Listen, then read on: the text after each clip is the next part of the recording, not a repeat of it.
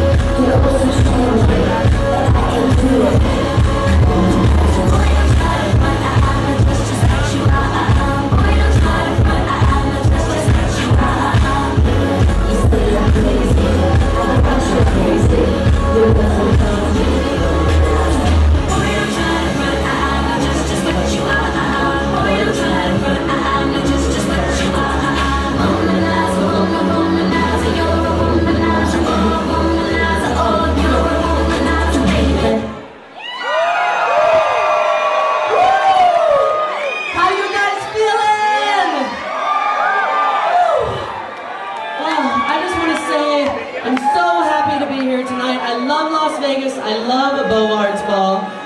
So, thank you guys for having us. Have you guys noticed it's a little hot in here?